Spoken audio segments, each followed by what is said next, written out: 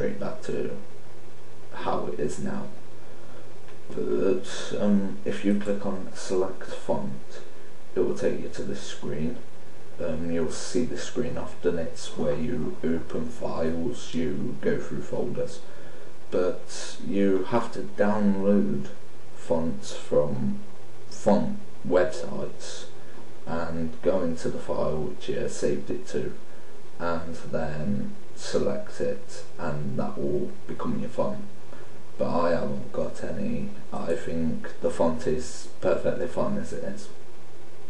Now the font size if you're not very good at seeing if you've got poor eyesight or something you can knock up the size of the font or if you just prefer it that way. Um, so that's quite nifty for whoever's in need of it. I think I was on 11 as default, but I could have clicked to restore default to take it back to it. I'll just give a demonstration on that. Knock it up to the biggest, click restore to default and it's on 11 again. You've got the languages, that's all your choice. If you want to have it set as, say, Japanese, um, actually that hasn't worked. Yeah. um, uh, oh I see why.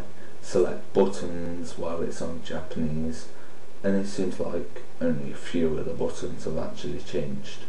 So um, I think French is good if I can find it. Um, you click on French you've got the buttons selected and all the buttons go to French. So but if you're French I doubt that you'll be listening to this tutorial and understanding it. So obviously I'm going to use English. Now I have to say the toolbox and the tooltips. You select these buttons and it will apply the language to whatever you've selected um, it don't matter with English because that's all default. Um, so I've never used that button in my life. So we'll go on to themes. I think there'll be a separate tutorial on this which I'll create. But basically it's where you can change the look of the screen either to um, rounded or you can keep it at default.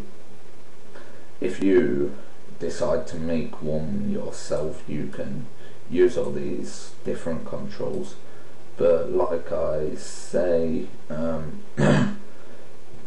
basically I'll go through this in a separate tutorial even if it's not in the Noob to Pro guide. Um, we'll go to autosave and have a look at that basically it's all about the thing saving it automatically I believe. Um, this is also something I've never used before. Um, but it seems to be set anyway. Um, this is the length of time that you want it to save at so I can go all the way down to one minute every one minute save it. Um, I'll put that back to 5 um, open recent that's where you open a recent um, model I think. I know it's open a recent UI font but like I say I've never used this before so I can't really tell you about it. Um, this is all about the positioning of the false lights. It's called false lights because when you take a picture of your image, the positioning and the colours of the lights don't matter because it all relies on this lamp. But this is just to show you the how the lights could be to help you decide the lighting. Um, if you deselect these as you can see on the cube if you have a look at the cube um, shift and middle mouse button to pan. If you deselect the lights or select the lights it changes the false light. But you'll notice that this gets pretty dark here. But it isn't actually like that when you take a picture of your image through this, which is the camera. So you can also change the direction of the light by moving this sphere and releasing it. But that's not necessary at the moment. But it's all up to you so I'll take from.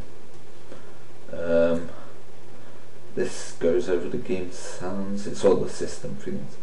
Um, yeah, I don't think all this is necessary um, I just thought you might be interested in this file paths.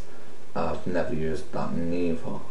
I tend to use I think actually if it thinking about it when you open the file which I showed you earlier to get font which you've downloaded you can click here and select a folder and say I've saved my fonts decide to save my fonts in this folder I select um, select font path.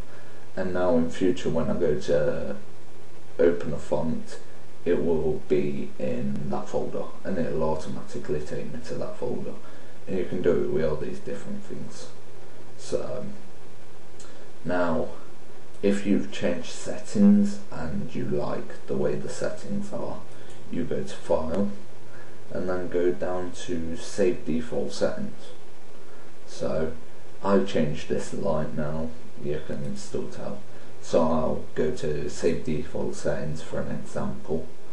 And when you open a new um, page or new item it will basically click on new or erase all. It will basically stay as that whenever I open a new file. Um, also matters on the positioning of the view that you've got.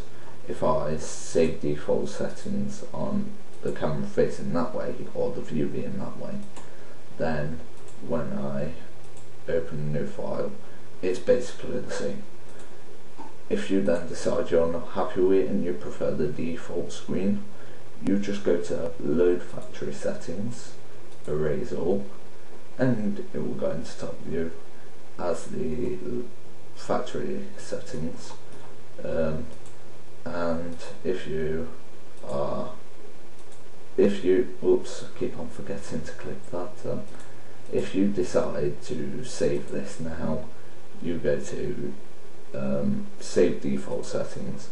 And now um, that is how it's going to appear in future when you open new stuff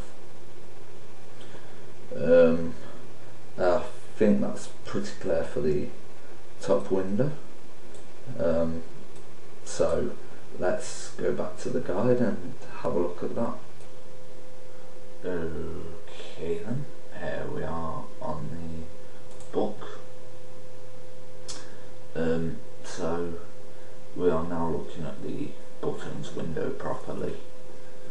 Um, I believe I mentioned slight bit about it, but we will have a more in-depth look on it.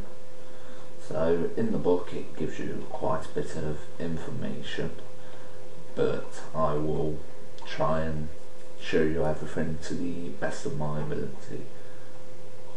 Um, so if you want to check out the book, don't forget to go on to Google search Blender Noob to Pro like you can see there and it should be the um, first result as you can see highlighted in purple. So let's go into Blender. Now let me close down this one. I've got two windows open. Okay then so this is the buttons window. Now what I'm to do is I'm to hit control and up. Um, and there we go. It puts it to the top of the screen.